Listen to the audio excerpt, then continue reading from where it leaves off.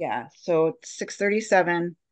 Uh, Montserrat, you did a great job on the minutes. They were long and involved. There was a lot kind of going on last time. Um, does anyone have any questions or comments about the minutes? I just regret I missed the meeting. Yeah, it was a good one. It happens. All of us, right? Um, anyone want to make a motion to accept the minutes? I'll make I move that we accept the minutes. Great, Second. great. Thank you. All in favor? Aye. Yep, great, Aye. automatic, okay, the minutes are approved.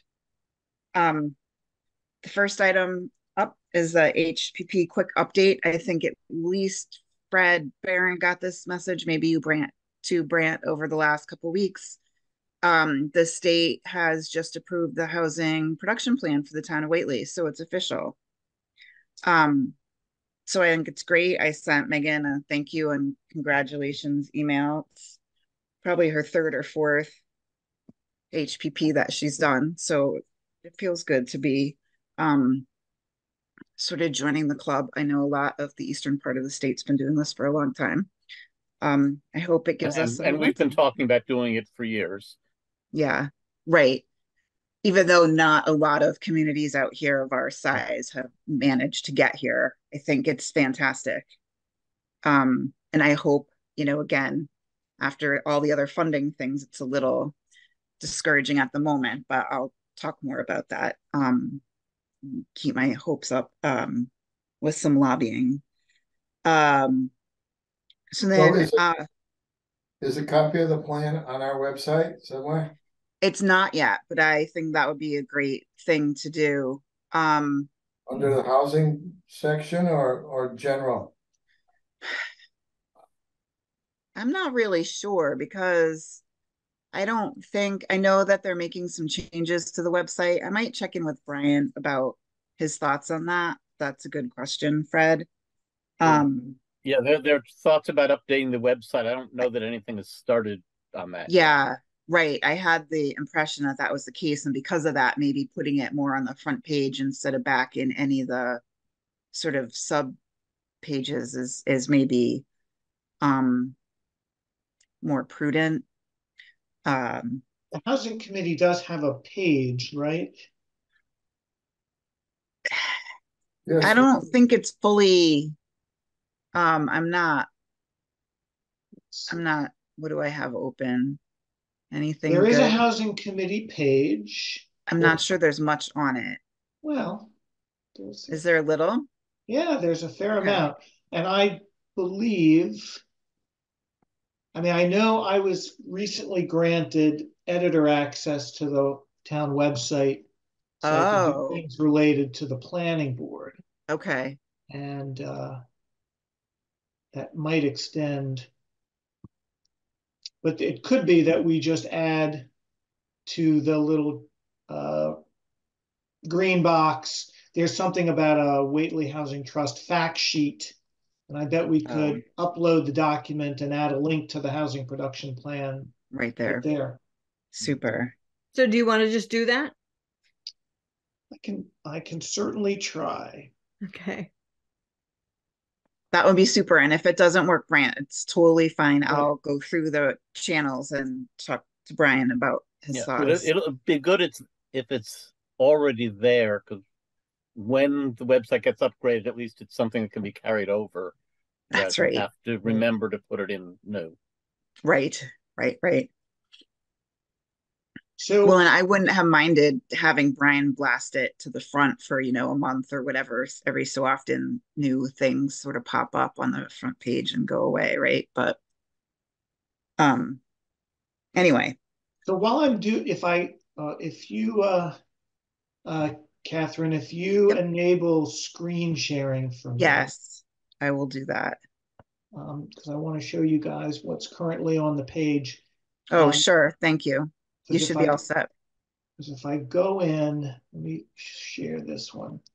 So, I mean, this is what our page looks like. So we got some contact information. And Catherine, if you want me to change any text here, I can do that. But um, what I was thinking of is right here in this green box above contact information. Oh, I'll yeah. a Link, I'll add a link to the housing production plan. And then I can also update committee members, because I'm not sure all these names. I don't know about Eli, Natalie. Right. Yep. Neither of them have been to a meeting as far as I can remember. Uh, Okay. They, they continue to be listed as members? Yeah, I think don't are the think- peo- Those are the people that Hannah brought in. Okay. And I don't think that either of them have been No, I think active they're- or they're even both- sworn I think They're in. both out. Yeah. Okay, so Yeah. I'll remove Eli and Natalie. Great. Thank you. All right, very good. So that's what I'll, I'll let you, I'll let you know if I'm successful. Great. And I'll take a look now that it is there at that, the, those bullet points. Um,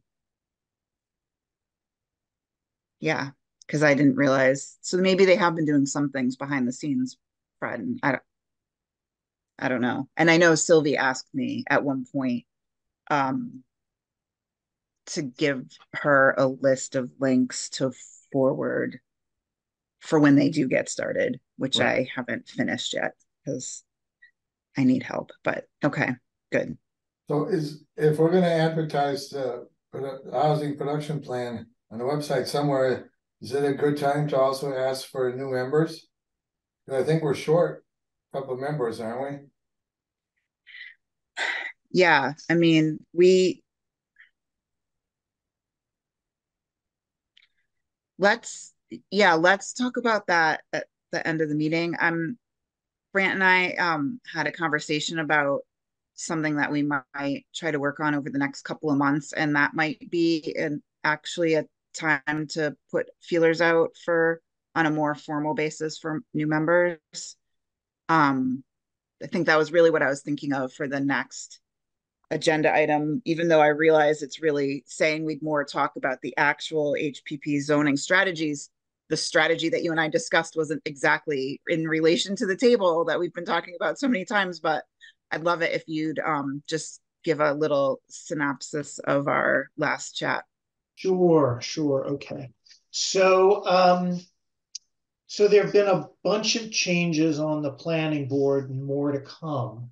Um, that are getting a little entangled with what the plan, the planning board's ability to, in the short term, to support the work of the housing committee. So you may know that, uh, the longtime chair of the planning board, Don Sluter, um, he had a wonderful positive life event, though it meant that he remarried and moved out of Whately and and thus stepped down, resigned from all of his roles. So he was he's no longer chair of the planning board. I was elected chair of the planning board at the planning board's meeting in late October. So so I'm new in that role. Um, Tom Litwin has just resigned. Uh, so so right now, and then we brought on a new planning board member, namely JD Ross. We're kind of excited about adding JD to the planning board because he brings a lot of experience as a developer. Uh, and a, and a, and he, it turns out when I was interviewing JD, uh, in response to his indication of interest to be a member of the planning board, one of the things that came up in that interview was that he was very interested in how housing affordability, affordable housing. He was thinking it through the lens of his mother who lives in Whately and would like to be able to downsize and stay affordably within the town. Um, and he had a number of thoughts we didn't explore in great detail, but he indicated interest in working on this issue. So of course I was pretty excited about that. But the the point is, uh, right now the the planning board has uh, only four out of five members. So I'm the chair. Judy Markland is still on the planning board. Sarah Cooper is on the planning board, and JD Ross is on the planning board. So and we have couple of leads to fill the seat that Tom Litwin is vacating to get us back up to our complement of five. Though we have, if I can interrupt, though, I talked to Judy. I think she does not intend to continue after her current term. She does not. That's true too. Yes, her term ends in June of 2024. So thank you, uh, thank you, Fred. So, but that further underscores the fact that the planning board is, after perhaps quite a few years of stability, is now undergoing sort of major turnover, uh, with some more to come. So JD's new. We're going to fill a new position, and then when Judy leaves, there'll be you know yet another new body on the planning board. So it just creates challenges in general for the when we have so many new people on the board to just get things done, right? Help new people come up to speed. But we were, the board has been talking, usually dedicating 15, 20 minutes at all of our, each of our meetings to just talk about HPP related priorities and so forth. I think we have on the planning board side kind of also put or deprioritized the whole bylaw changes related to accessory dwelling units. I think the feedback that we've heard from the building inspector suggesting that there are not that many ADUs in town and there doesn't seem to be strong appetite to build more. The planning board felt like on the one hand, we could, informed by the HPP, go ahead and tweak the ADU provisions in the bylaws, and maybe that would give us the feeling that we did something. But I think there's a sentiment on the board that making changes to bylaws of any kind is a lot of work. It's a little fraught when it comes before voters at town meeting. And we really don't want to be wasting time on bylaw revisions that are not that we don't feel confident are going to significantly move the needle in Whately when it comes to affordable housing. Well, you know, big A and little a affordable housing.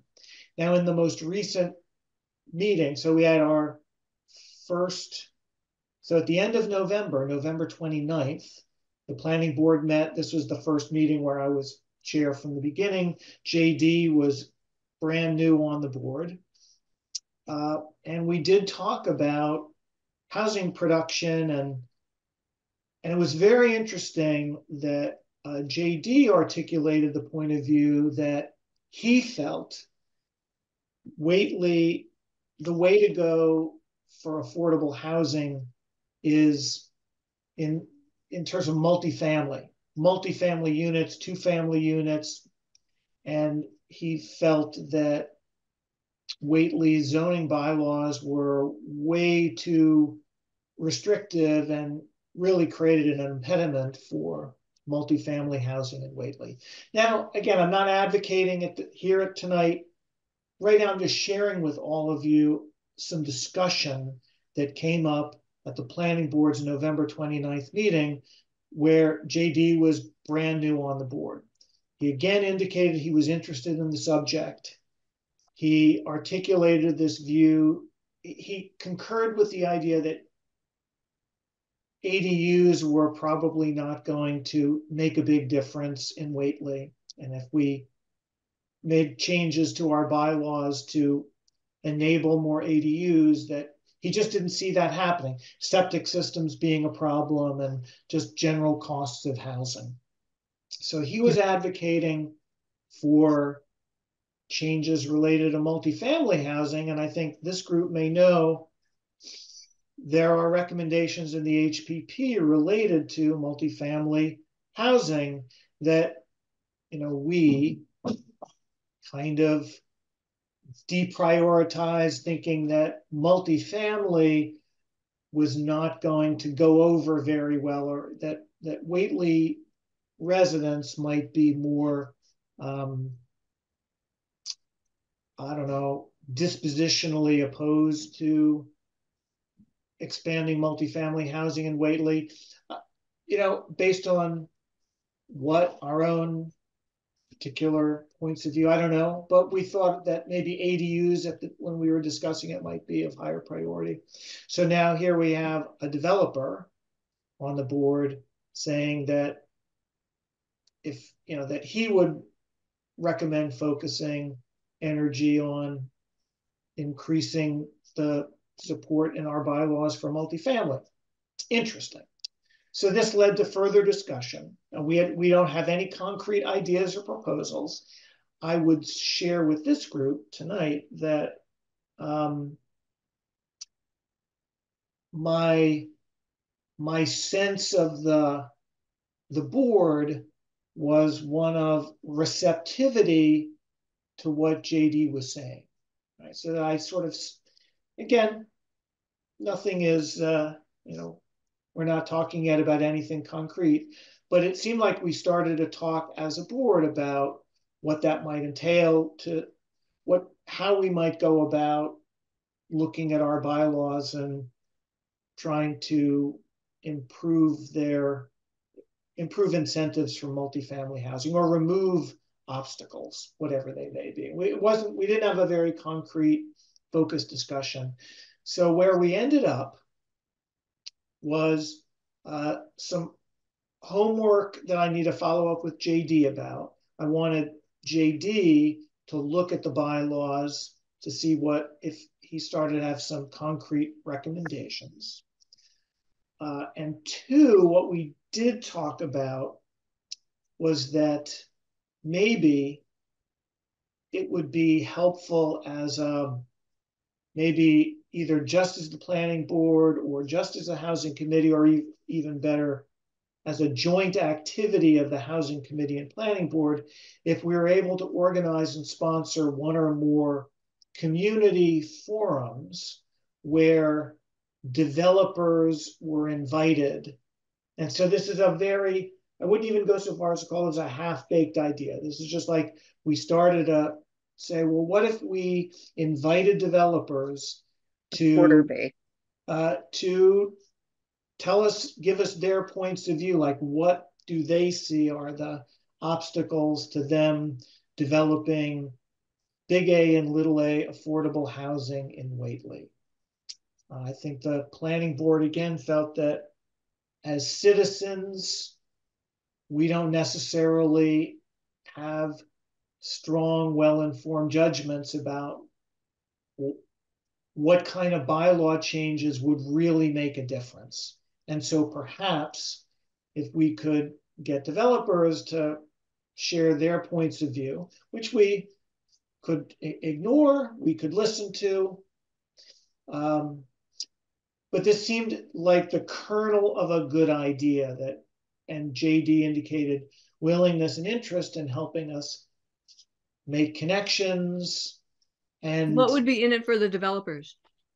well then what's in it for the developers is that if they inform the town and the town makes changes that make it more appealing for them to come into town and develop multifamily units um, yeah it would really be they would have the opportunity to do what they do, which is develop. If our bylaws are keeping them out, then, and there are changes that the citizens of Whately are open to voting for, then that could create opportunities for new development in line with recommendations of the HPP. There's one other complicating or opportunity thing coming up. And that is over the next couple of years, we'll be starting on a master plan update. And housing will have to fit into that. Right. So it's a question of, you know, We- how, we how talked much about- housing, how liberal do you want the rules to get, you know, to create affordable housing or to create housing in general? They- I think they- that, that will go into the master plan update considerations. Yep.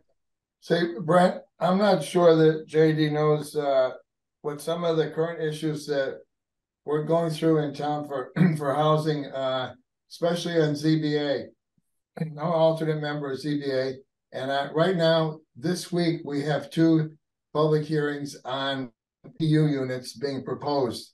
There are some issues with, uh, meeting our, our requirements, not so much the size, but the legality of the lots and all that. So we have two going on right now. Within the last six months, we've had two or three other ones being proposed that ZBA has turned down because they didn't meet the guidelines. So for ZBA, that, that's a major emphasis right now is these AD units being, being proposed. Uh, So- that's re- so it's really interesting to hear. It, it it's sad that I hear this because it just reminds me how siloed our different boards and committees Right. are. You know, I had no idea that any like Neither did I, right? no mechanism where word would reach from the ZBA to the planning board, like, hey, there are all of these ADU things. Like, I guess the only way is that we would have to be having somebody from the planning board attend all the ZBA meetings or something like that. But it's interesting to hear you say that, Fred. What do you have a sense of what the like? Is it the overall footprint or? It's, no, it's not the footprint, it's, it seems to be more the, the ownership of the property, when, when was it? Uh, some of these were subdivided and now they wanna put an ADU on, uh, or make it a flag lot for an ADU and. The bylaws aren't clear, one, we've asked our. Attorney for interpretation, that will be discussed this week sometime, I don't know what he's saying, but there's, there's some disagreement there, it's not the size or. Uh, maybe the, the location is just meeting the, the uh, boundary legal deed requirements, I guess, of it. Is what the issues have been.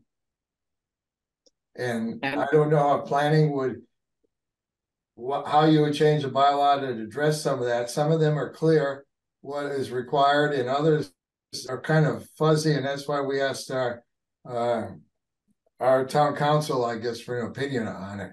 Yeah. But, uh, And, and Brant, when, I was on planning, I remember we all had a couple of different issues with people coming in, and it was very unclear what the sequence of approvals had to be. You know, who you had to go to first, and then, hmm. and th- th- it's not clear anywhere Okay, of what what the procedures are for getting a project moving. So you've got conservation, you've got planning, you've got zoning. Right, Sometimes you get the select board has to be involved. And it's not all clear what the procedures and sequences. That, that seems like uh, um, a really important thing to clarify for everyone involved. What Yeah. is the, Yeah. um, what is the order of approvals for projects? And I think it, it may depend on the individual project also. You know, there may be, you know, like Fred was talking about a flag lot. It may involve, if you don't get zoning, you know, Board of Appeals approval, nothing else matters. You know, that your lot simply would not be adequate. And there are other things that may be, you had to get a site plan approval first before you can consider other, you know, getting a special permit or, or something. So I don't, I don't think it's a one size fit, fits all procedure. But on a lot of projects, there is a ambiguity as to what the procedures are. Right, So and a there- lot of times the building, the bill that we hear from ZBA hears from a building inspector, or the applicant saying the building inspector. Told me to go back to ZBA and ask for approval because he didn't think it met the bylaw requirements. Well, Yeah. So this is another, like a tangent, because Juliana and Brian and I are working on getting a meeting with the building inspector and the building ins and, and Bob Dean, I forget what his role is relative to the building inspector. He, he he's sort of the Oh. coordinator for, with FRCOG. Yeah. For, Yeah, the, all the fee for service programs. For all the Yeah. fee for service. Yeah. Yeah. And uh, the, the main focus of that planned meeting is on clarifying the process. Because indeed, uh, it's very clear that the planning board, for example, has no legal authority to determine whether something needs site review or not. You know, the way it's supposed to work is that if somebody with a project uh, has develops plans, they work with the building inspector as their. So the ideal process we think is one where any of these projects, whether ADUs or what was going on with Nourse Farms, they have to start with the building inspector. And then the building inspector has to be the driver of the process. The building inspector has to make the determinations of what's required. So the building inspector has to determine whether something requires a special permit and thus needs to go before the ZBA, or whether there is some non-conformance or a variance must be sought, which again means that something would have to go to the ZBA. It's the building inspector who has to determine whether a project needs to undergo site plan review. So, and right now it is a it is a very ambiguous process and it's been opaque and it's been causing problems. Um, Could you, could you just say again, um, this is a meeting that's coming up? It Is is that a right? meeting that's we're in the process of being scheduled. Okay, and it's, and it's a meeting that will be organized by the planning board? No, this is a meeting that's being organized, driven by Brian Domina and Juliana Wagoner. So Oh. Juliana is, I think, has an interest in this from the select board's point of view.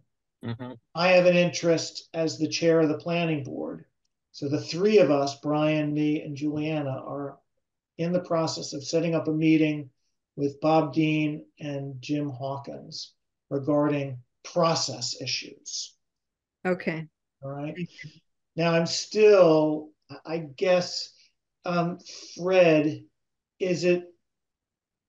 It's still Roger who's the chair of the ZBA, or has Deb been doing that work? for now? Well, he's, uh, uh, Deborah Carney's acting chair. I don't think Roger's back yet as full-time chair. Okay. Yeah. So maybe I'll reach out to Deb just to see if she has a perspective on what are the issues that are cropping up on the ZBA front with ADUs. Because if there are issues that, you know, if, if people are getting turned down for ADUs, potentially you might say wrongly. I don't mean the ZBA is not doing its job, but if the ZBA is following the bylaws and turning down ADU projects where maybe there's a different judgment as to whether the bylaw should actually be changed so those projects could in fact go forward, it would be good to know that. Right, and you know, the- the other, the other thing that could be driving this, uh. Committee that Brian is organizing is, you know, our, our, our, I guess, most, uh, I don't know, if controversial or, or. Opportune project coming up is the, uh. Uh. I ninety-one exit thirty-five study that's Right. going on, and there's, there's nothing, nothing definitive yet come out of that study. We're still looking at various options.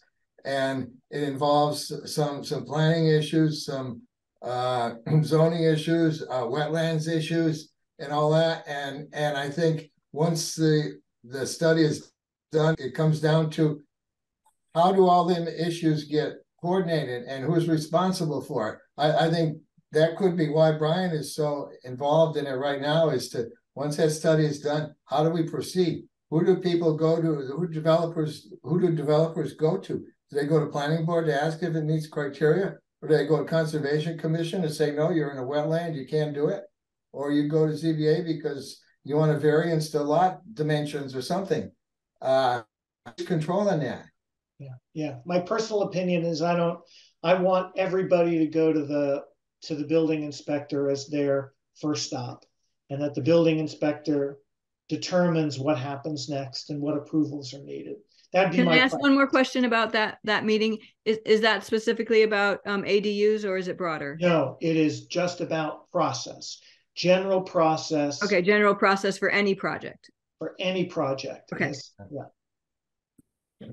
So separately, I need to, you know, find out from the ZBA about all this ADU related activity. You know, because that may test the hypothesis of whether changes to ADU bylaws are actually worthwhile.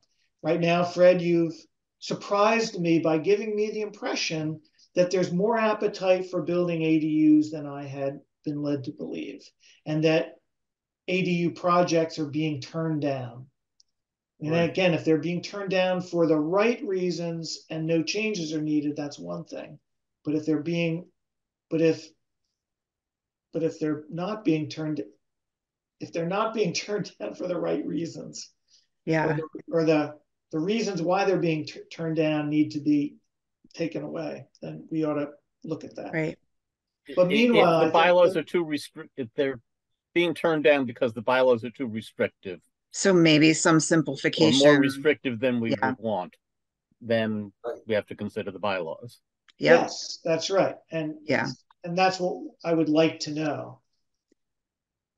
and I- sort of making this go full circle while not exactly related, but that kind of goes back to this idea of a public forum Right. that's talking about these types of issues, having a developer or maybe a group of developers who are willing to come and have like maybe a somewhat structured meeting where we go through some of these types of issues in trying to get more housing development that's is for houses le- costing less than at least seven hundred and fifty thousand dollars or something, you know, Right. get, getting new houses in sort of a middle income market or lower um built in town. Uh so I'm hopeful that um we can get have a couple of discussions about that and get it sort of a little bit more baked, I guess, that idea, right? Yeah. I want Um, You know, and and we maybe did- join it with a kickoff meeting for the master, the housing part of the master plan, or get Megan involved in some way so that any feedback from that discussion can sort of be in her ear as she's, you know, moving forward with some of the other processes for that. Yeah, right now the master plan is being contemplated, but as far as I know, there's nothing moving immediately on it. We, I could say we, we did have developers involved in, in the one, one committee that we had on the center school, the center school visioning committee. Must have had, uh, eight or ten members from, from the town or some adjoining towns.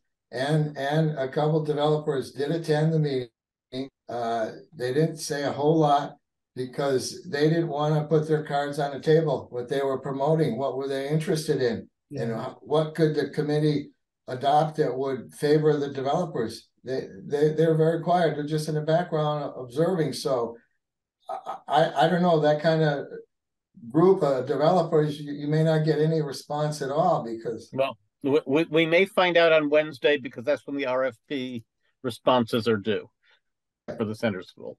Right, but, uh, but to get them to participate is, is difficult sometimes. I totally hear you, Fred, and I don't disagree necessarily at all. I'm really like, you know, when I think about it just through the let through the lens of now I'm chair of the planning board. So what am I going to advocate for?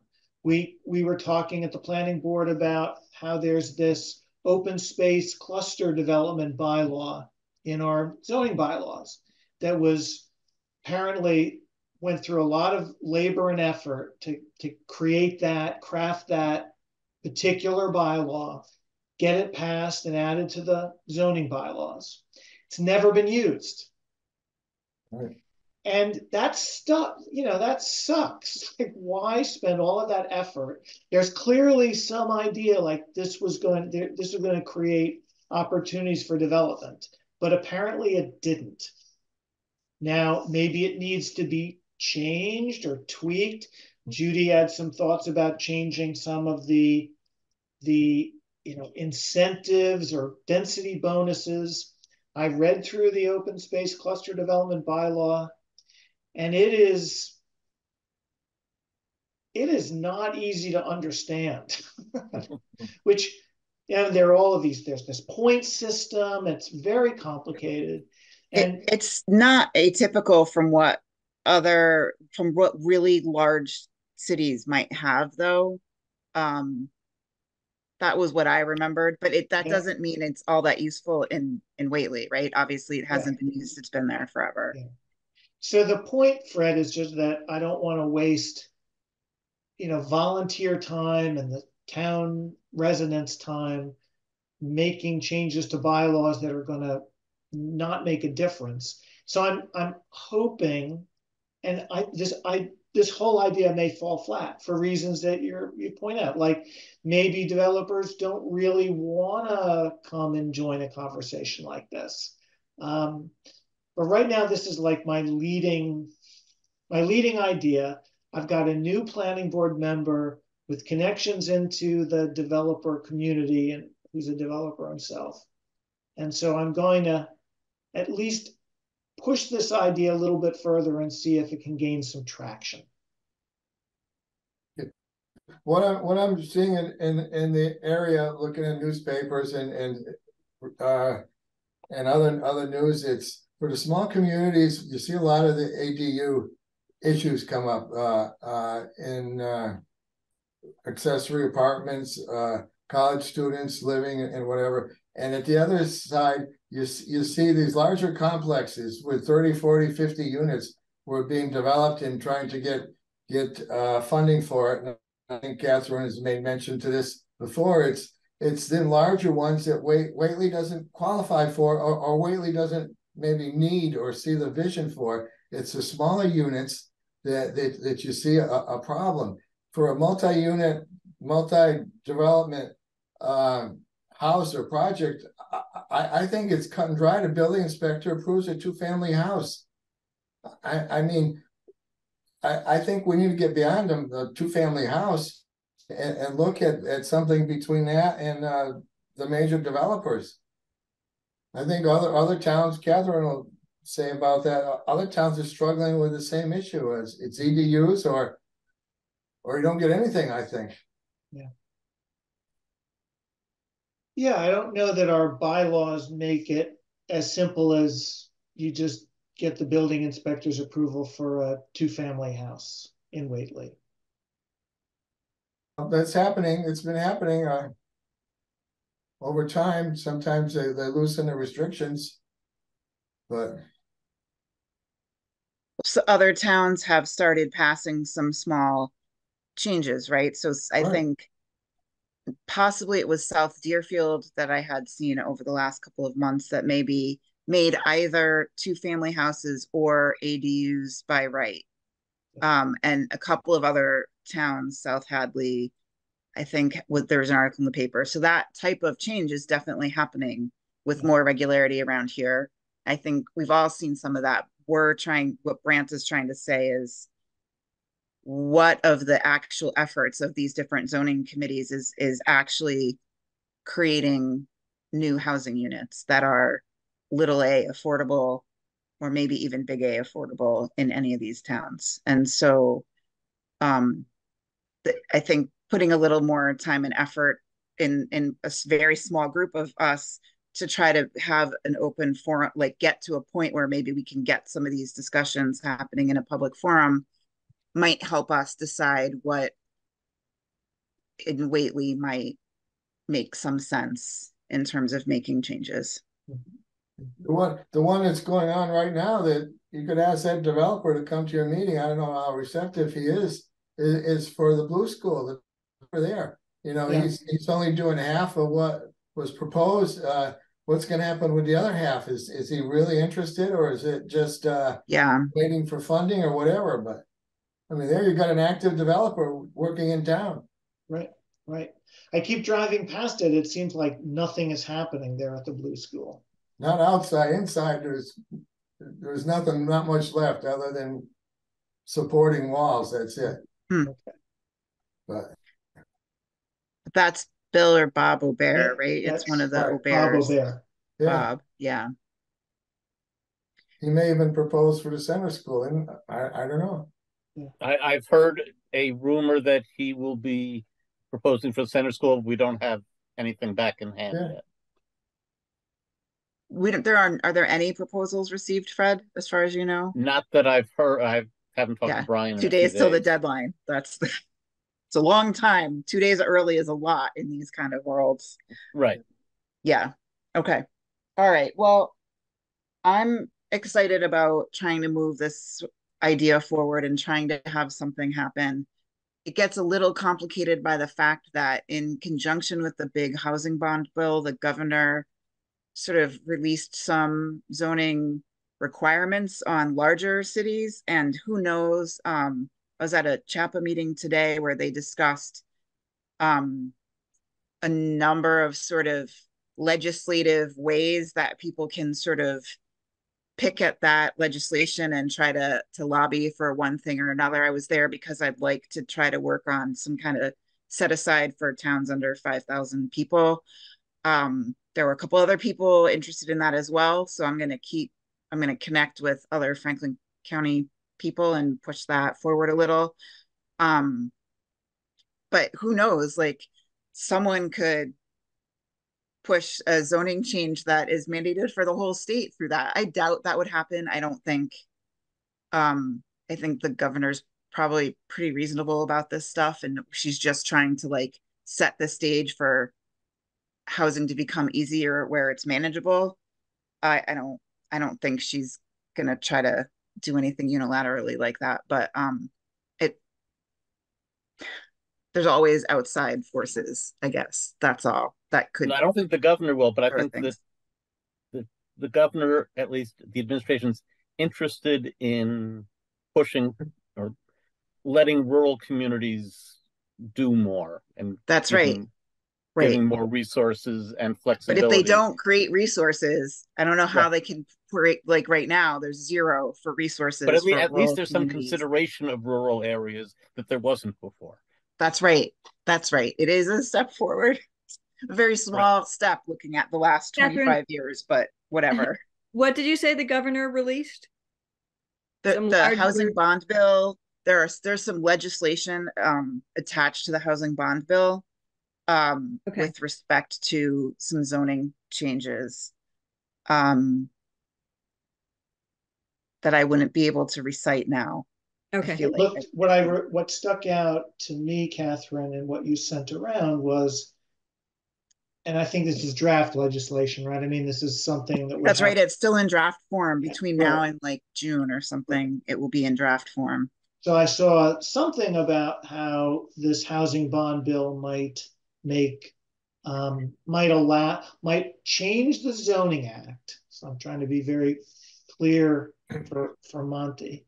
So there looked like there's a provision that would involve changing the zoning act such that accessory dwelling units would be allowed by right. What does allowed by right mean? Means that you don't require a spec, it doesn't require a special permit. It still has to conform to zoning dimensional requirements and other things like that. But basically, allowed by right means you don't need a special permit or approval as long as you follow the you conform to the, the guidelines.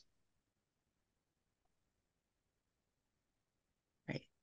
And that may or may not be for all communities in Massachusetts. It might only be for communities within a certain distance of the MBTA or something. Um, which obviously would not be us. But um, it, it there have been changes to the legislation are still being discussed. Um, I'm I'm not sure in that housing bond bill update item there, that I really had that much more to say about that other than this meeting that I attended today um, was a little over two hours and the focus on the legislative part as opposed to sort of summarizing all the different ish the different financial pieces and whether they go to public housing or private housing or nonprofit housing was only like a 10 or 15 minute window, but most of the people on the call were really interested in this the smaller communities and the fact that there weren't any specific funding sources that smaller communities might be eligible for. And so it sounds like there's still a lot of talk around getting some tweaking to that, and we'll see. Um, as as I think I said last month, I think working with someone at, at FRCOG um, to help get those of us with a little bandwidth for this um, together to do a little lobbying is is the path I'll pursue, and I'll just keep you guys updated. Um, is there anything else that anyone wanted to talk about? Brant, did we kind of cover? Yeah, I like think we we did. did. I Yeah, um, I was just curious from the minutes yes, um of the last meeting. Um, this thing about the two neglected lots on LaSalle Drive. yes. Could I'm I, I've lost the bubble on that. Could someone remind me like like what are these lots? Who owns them? Like is there is there really any opportunity there? Um, I don't remember the name of the homeowner. There's a blighted home that's barely standing that has a lovely old 60s VW bus, also barely standing, that's been entirely encroached by trees and shrubs and whatever. And um, at last I remember they were current on their taxes, but there'd been a number of deaths in the family, and I'm not sure if people knew who was paying the taxes, but I think we got to the point where it might be worth reaching out to them. Um, some there is some funding available for getting a site that the town might have custody of if in fact we could buy this, for example, from these people. Um, If I can be interrupt, so if I remember funding. correctly, mhm, it's a couple in Northampton that now owns it Okay, that had inherited it from a parent, aunt, uncle. They Both pay the, properties or just one? this is this is just the one. just This- one. Okay. The uh, it's the first undeveloped property on the right as you go down LaSalle Drive. Right, There's a ha- there's a house on the corner, and this one is Yep. the one next door that's right. with with the vines on the VW bus. That's right. The collapsed ranch house in behind it Um, somewhere. several years ago, we tried to get in touch with the owners and either got no response or got a we'll get back to you when they never did or something. Um, they don't seem to be doing anything with the property. There doesn't seem to be any interest in their developing it, but they pay the taxes and they also haven't shown any interest in it making it available for affordable housing. But it is a building lot. It is a what should be condemned property. Right. Um, Another contact, attempted contact would probably be worthwhile, but Yeah. it, it wasn't lack of effort on our part. They just It was a lack stone of wall. responsiveness. Yeah. But I think that the, the, the more, I don't know, developable parcels on that road are, are further south of that. Yes, the. Yeah, I was gonna get to that next, or Catherine was, yes. Right, the, the, the person on that corner, yeah, owns that house next to it that is fallen down and, and isn't assessed very much, but there's, there's at least two parcels after that. One's got a, a vacant house that isn't worth much, and there's a garage and building on the other parcel. I think both of them are owned by an individual in Hatfield. Yep. And we've had some discussions, I, I guess I know that the individual personally had some discussions with him over the other members in town have had some discussions and he's kind of uh I don't know lukewarm to to doing anything with with that property. Uh as you can see, he's not done anything. Uh the the there says value there is uh it, has some some value to it more so in the in the land in that uh garage or storage building, I guess, but uh there was a proposal, I, I think Catherine, a few years ago that uh, Richard and I developed to, to approach to the owner, the owner of that parcel, but we never got to point to do it because of, I think, COVID and other restrictions. So there was nothing really, really done. Uh, like I say, I, I- know that homeowner, and it's a matter of, you know, how do we structure something there? Or structure a committee there in, involving, say, the homeowner, the, the develop, a, a developer, and housing authority to produce something like you have in, uh, what, Sanderson Place in, in Sunderland. You- you Yeah, it, do it would, there's not agent- enough land to be anywhere Yeah. near that size, though. Well, And also, it if I remember correctly on that, there was a problem. He, the owner had a the water. problem selling the land because of access to the land further to the south. Well, that's, That he works the the fields or something to the south and would need access to it, and it's not readily available if he sells the one property. well, them. th- that's, that's We- the other, it, the other concern is, is that an owner of what's there today owns further south of there. You can look at the, at the, at the assessor's map and you can see who's the property owners. There is considerable land there south of there. I bet Yeah. there's ways to subdivide to maybe say, yeah. keep most of your farmland, keep the barn, keep the open building, Right. keep the driveway and the access to the fields. Yeah, but then you may run into a frontage problem. Not if we're doing an affordable housing development. True, true. And- So, but- so I think the first, I'm just gonna, I, I think there is some potential for this particular idea, especially over the winter while we're kind of waiting on the DeMille parcel. Um, I think the first step though is to, if we can't get, um, we can't get ownership of the site that should be condemned. I'm not sure that there's enough land on that more southern parcel to do anything. We'd almost need to get both. So I, I have a feeling if we do a little work, tr- like you said, Fred B, to, to try to reach out, re-reach out to the parcel owners of that parcel and say, listen, you know, there's concern in town about your your building, which has now collapsed. I'm not even sure if we got to that point in discussions with them um, because of their lack of responsiveness. So maybe we can can think about um, what's the right way to move forward on that. Um, But I think the biggest challenge would be that other property owner south of there to convince them that to do something and to work with the town. And if you could get that commitment from that property owner, then this other person there could say, well, uh, uh, okay, we'll get rid of our property, or how much do you want to give us for our property? I, I think rather than that one parcel and what you do there, you need to go to the, to the property owner that's south of there. He's the controlling landowner, not the part, not the building that's fallen down. And But- So which live there. property, I've sha- I'm sharing the assessor's map. Here's. thank you, Lis- Brent. And which, now, what are the- we talking about? Go Lot, south of lot twenty-eight. twenty-eight on LaSalle Drive Yep, This one. is, is the falling down with the VW van. that's the Right. condemned house. That's the That's condemned right. house. Go south of there. So this is It's the the Watson one that's the Stewart property. estate. Right, that's the the estate that it's tied up with. Okay. And, and Now, this, uh, if you run it, go a little bit down from that, Right, go south Pull it it. out. well, There this you whole, go.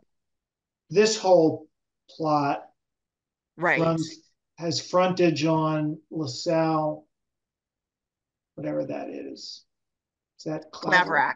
It's Cloud Yeah. yeah. Okay. So this but is a big parcel.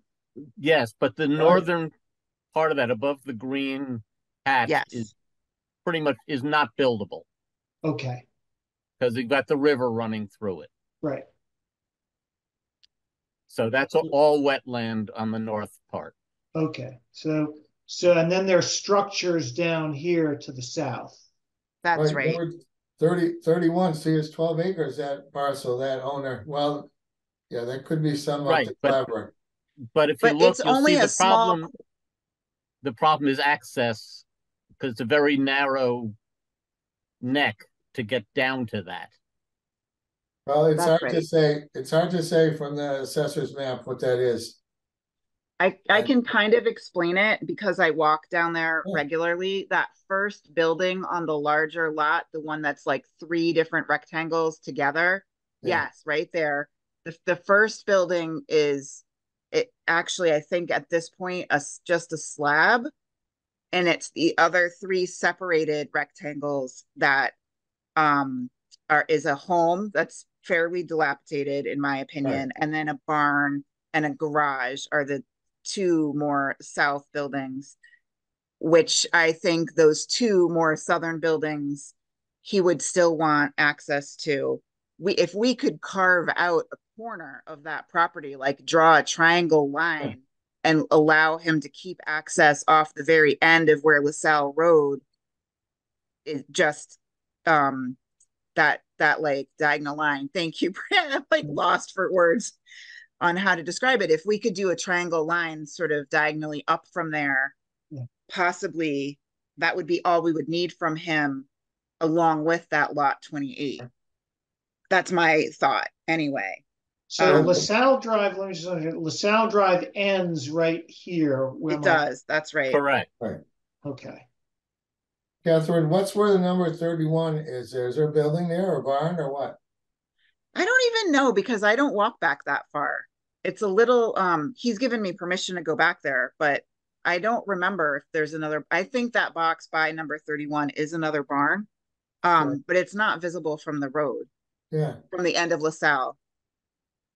So so I'm still saying that to develop anything there, you're you're there's more property available where it's lot 31 than there is looking at at lot 28. Well, but there's no conti- access down there, Fred. I don't Well, you think can continue that. you can continue the access, I mean, you could get that along extending a Hmm. the South Drive there. Where it ends now, I mean, that would be part of the project to extend that, there is water that goes down there, down to that point, And then it goes under ninety-one, so there is town water in that area. Wow. I guess I hadn't really thought about um the any idea of extending the road. I know that he drives down there with some frequency and and um gets onto the parcel and goes da- drives down to the southern part. So I would assume he farms some of that land. I don't know, he does. I, I, without going into it further, Brent, you see the problems with the property.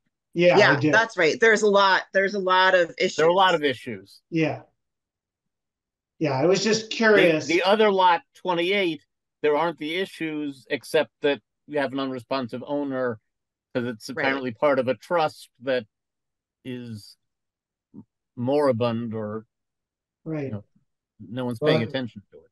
You, you also got the terrain issues on lot twenty-eight, you don't see it there, but at the back edge of that house falling apart, it drops off considerably.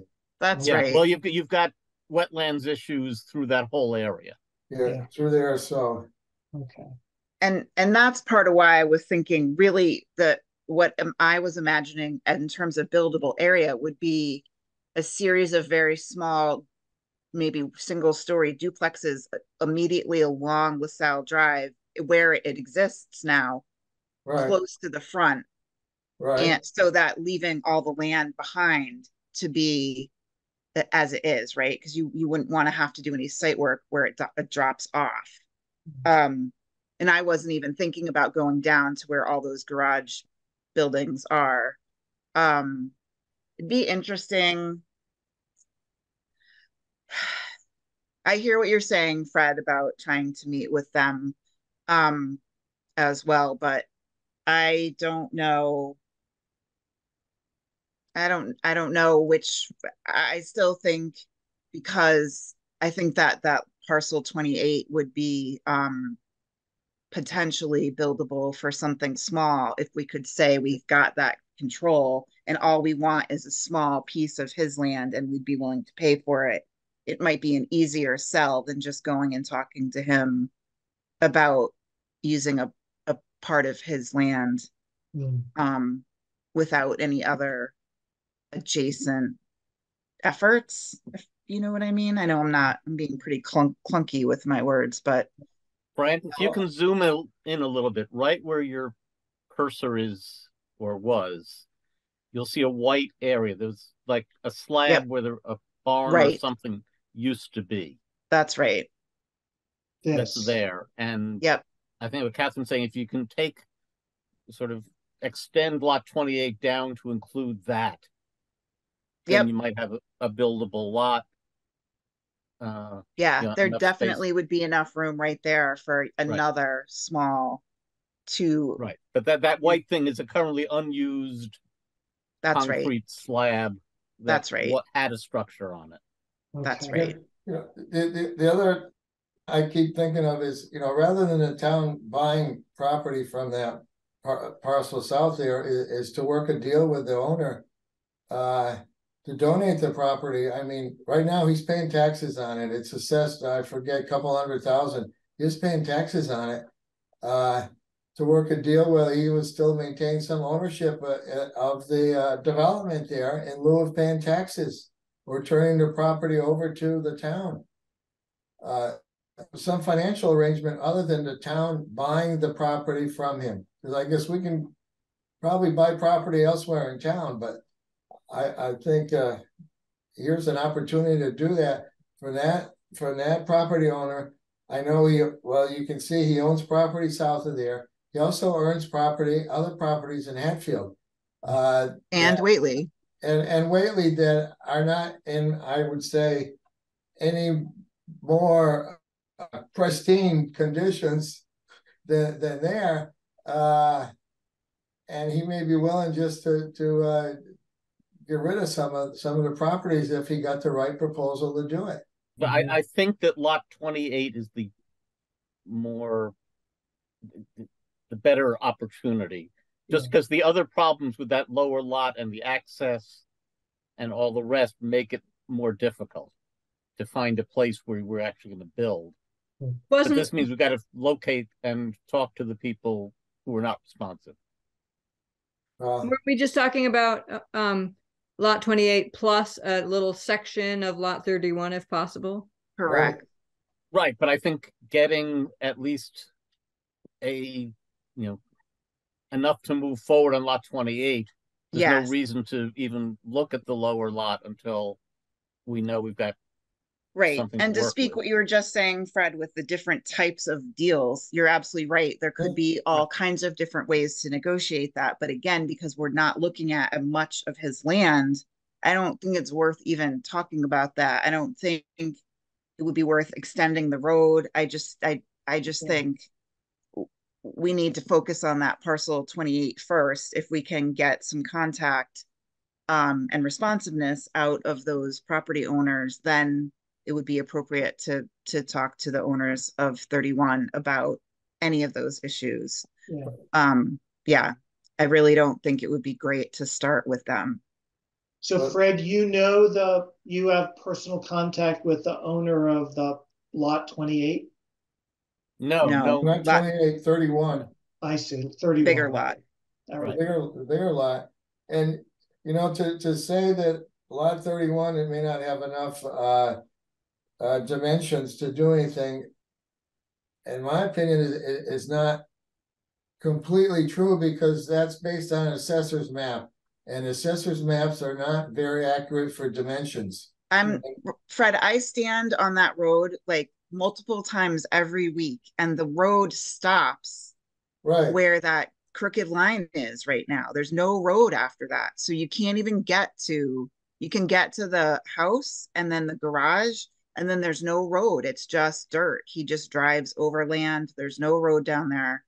There's no possible way to do anything without extending the, the LaSalle Drive. right, but, but to say, looking at the map, that there, that you're too close to wetlands there or a floodplain.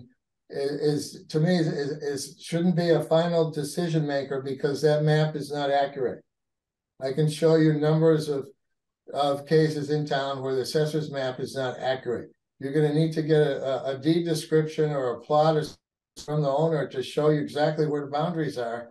And to see No, what that's- is wetlands a- and what absolutely isn't. true, but I think that there just, there are so many issues with that southern lot. Yeah. Between access and wetlands and the fact that he, he still works them as fields, if I remember He correctly. does, yeah. So it sounds like we agree that the first thing would be to reach out to the Yeah. owners of lot I think, 28. So. Of Yes. twenty-eight. yeah, we don't have to say we're ne- we're, we're never going to pursue lot thirty-one. But it sounds like we might at least, we, through the assessors, I mean, we have this, the property card for lot twenty-eight, so we have a, we have a name, we have a mailing address in Sunderland. Yeah, Um, Sunderland, okay. So that's for nine LaSalle Drive, which is the parcel twelve 0 twenty-eight. So Um, maybe we'll yeah. Brad, draft you a should, you should for drive dis- past there at some point and see what it looks like. Yeah, Yeah. Yeah. And just saying, in the housing bond bill, there actually is a new um pool of funding, which I was pleased to hear about today, that will be getting, and this goes for municipally owned land, so I'm getting ahead of myself, but um basically for site work for homes for parcels to be developed for affordable housing. So one of the barriers to the DeMaio site and certainly to this site would be there's a tremendous amount of site work that would need to be done um in either case so that is something um Yeah. i'll talk to probably brian or or sylvia about looking into a little bit more as that becomes a reality because that would be a good sort of first step once we get through um a little bit more um development talk if you get my drift.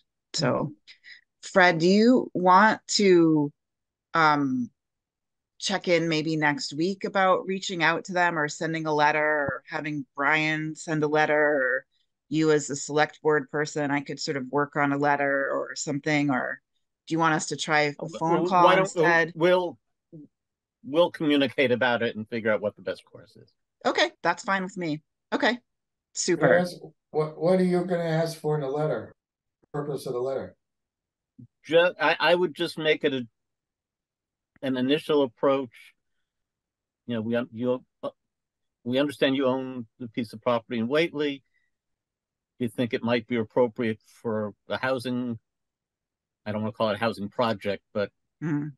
a project to build housing. Uh, and would you consider uh, tran you know, transferring it? I don't want to say sell and I don't want to say donate. Right, Uh, convey it somehow to the town of Whately for yeah, for such a project. And we'll see if we hear back. right. And potentially we could talk about the condition of the property and the risks Right. they have as property owners of just letting their um home or what I guess I'm, if you can call it that, you know, descend further into blight status.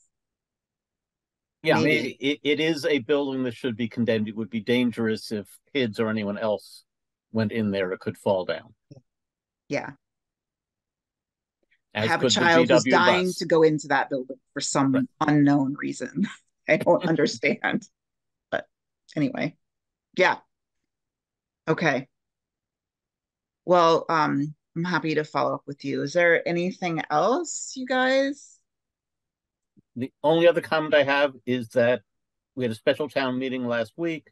Right, approved- Got the transfer of the money from the building stabilization fund to pay for the study on the DeMayo, well, on the highway department in general. right, which will give us a, information on the DeMayo property.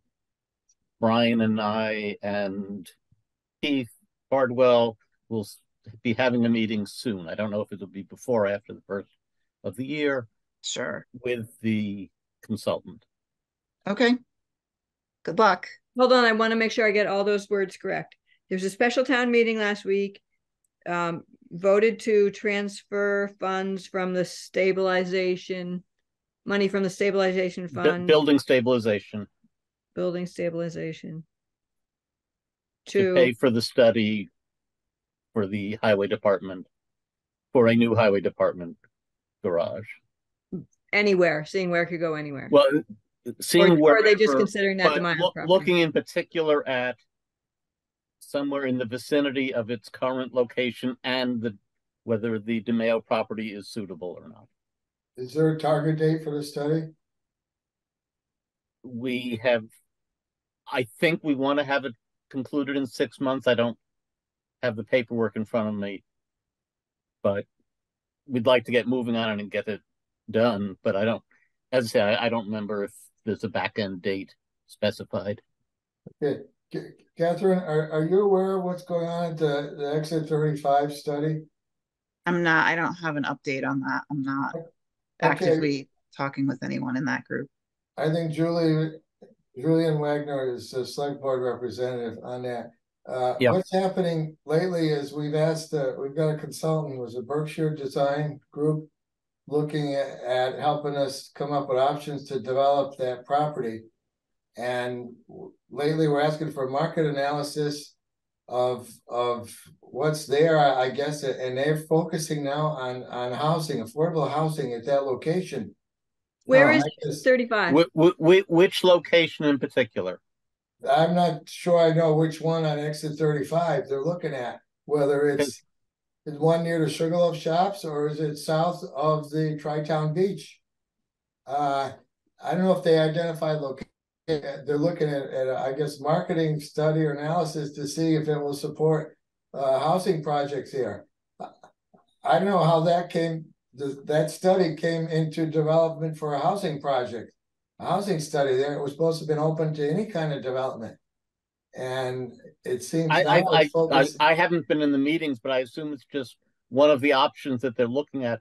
Because they're looking at that whole general area from, right, but it's more than just. from below the there. diner to the town line. Yeah, there's more than just uh, uh, housing opportunities there, I would, s- I would say. I think there's a Yeah, I would, coming up Thursday. Is it uh tomorrow, tomorrow? Yeah, I think tomorrow there's a meeting. Yeah, coming up on that. Uh, and I, and I guess if. If.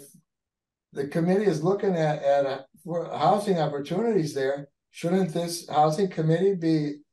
Aware of that or involved in that or or some input into? I mean, are we gonna be told at the end that there's a great opportunity for housing?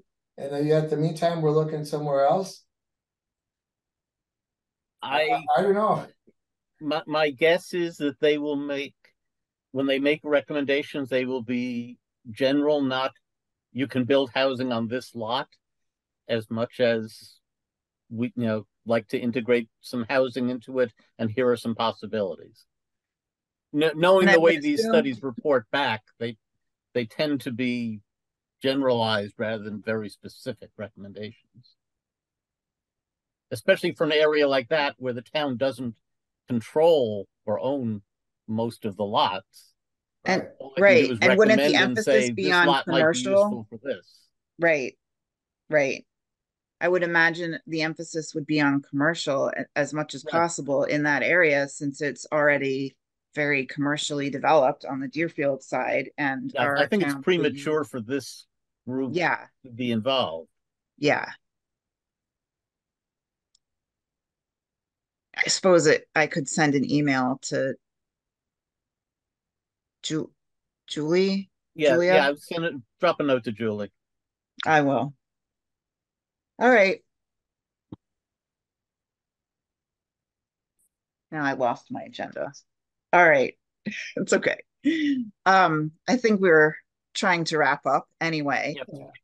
Um, but I will definitely add that to my to-do list. Um, I've got a few other housing things kind of going on this week for myself, so What are you adding to your to-do list? an email to um and Julia, the select board member who's um sitting on that commit the exit 35 committee. Is it That's- Juliana, Juliana Wagner? Yes. Okay. Is it Juliana, not Julia? I I have done It's- that. She goes by Julie, but it, her whole name is Juliana. Got it. Right. Thank you.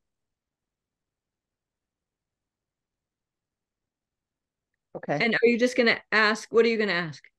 I'm just gonna ask her to keep me in the loop should Okay. the direction of any of the talks lead into the foray of affordable housing.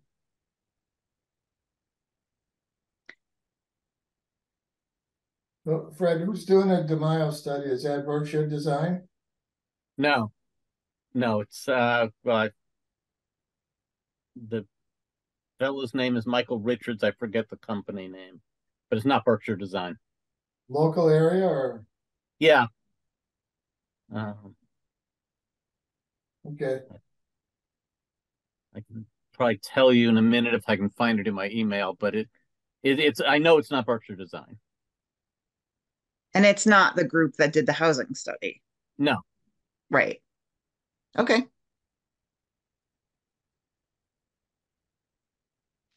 Well, um, I'll try to get this out this time. Is there a motion to adjourn? Just a quick, uh, Yep, our next meeting, right now I have a meeting for us on January third, is that right? thank you for reminding me. I tend to Because forget The this. I know. planning board moved their meeting from the end of December to Wednesday, Oh. the third. Uh-oh. So we're meeting, the planning board's meeting on January third from five to nominally seven. Right. So our meeting would normally be scheduled for six thirty on January third. Yeah. Um, I have a meeting the following Wednesday. I, um, with how much trouble we had the last time we had to completely reschedule the meeting, I wonder um if it's worth trying to just start at seven and hoping to keep the agenda to an hour? Or do people want to entertain? I I haven't even really gotten to January with putting Right. things on my calendar, to be perfectly honest, so I'm a little hesitant to say what I can and can't do that week. Yeah. I, I like the idea of keeping it to an hour and going seven to eight. Well, Let's Right. Try that. I may be a little fried from a long day and then two hours of planning followed by housing, but Yeah, sure. This Yeah. seems. Okay, and what, this what was that date, the work. January January third. 3rd. Wednesday. I know, this seems to work good for me on a Mondays. Do it, do we want to look at, at Monday, January eighth? Instead of the third, if people having other meetings coming in early January,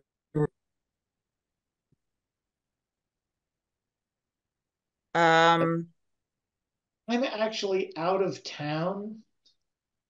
Okay. Uh, And I can't promise that I could make a meeting. But just, I mean, I, I'm with Fred and that Mondays typically are fine, but you know, Monday, the eighth, I just happen to be away. Why don't you just leave it on January third if people can make seven o'clock? Let's just Okay. do that. all right.